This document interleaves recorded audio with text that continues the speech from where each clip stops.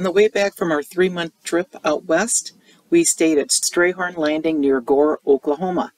It's an Army Corps of Engineer campground and is located on the peninsula on Tenkiller Ferry Lake right next to the Strayhorn Marina. Check out this campground, and see why we liked it. We're Dave and Karen from Watts on Wheels, and we sold our sticks and bricks to RV full time now that we are retired. We travel with our heavy duty truck Leroy, our two K&N motorcycles, our DRV Dixie, and our smart car Zippy. Don't forget to subscribe and click on that bell to be notified when we post a new video. We only stayed one night, but Strayhorn Landing has a panoramic view of the lake, convenient access to boating, and plenty of opportunities to view wildlife. They open the 1st of March and close at the end of September.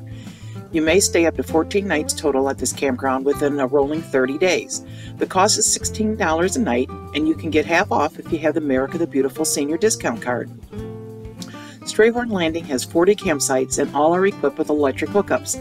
A few have 50 amp and sewer hookups, but most are 30 amp without sewer hookups.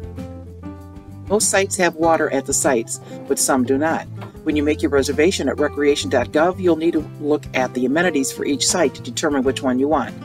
The park has flush toilets, hot showers, water hydrants, a swim beach, playground, dump station, boat ramps, and a day use area. A marina with concessions is adjacent to the campground. Of the 10 marinas with concessions located on the lake, most offer boat and jet ski rentals, and several have floating restaurants. The lake has 130 miles of shoreline with plenty of wildlife such as deer and turkey. Boating, fishing, water skiing, hiking, and swimming are some of the activities enjoyed by the visitors. Amenities include boat ramp, dump station, flush toilets, marina, parking area, playground, showers, swimming. Fishing is good for black bass, white bass, striped bass, crappie, and catfish.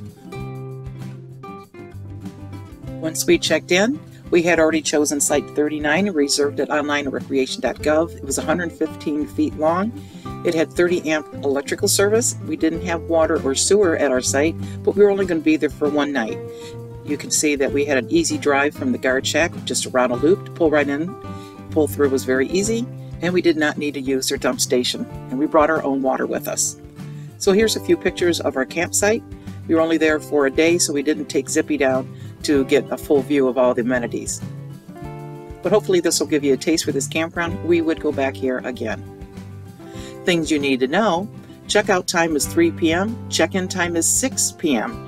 You must stop and register at the gate shack upon arrival. We think 6 p.m. check-in is too late, so we actually reserved the night before so we could come in around 1 o'clock the next day. Quiet hours are 10 p.m. to 6 a.m. Entrance gates are closed during this time. They don't want you to move firewood and pets must remain restrained on a leash or penned at all times. Pets are not allowed on swim beaches or in the bathrooms.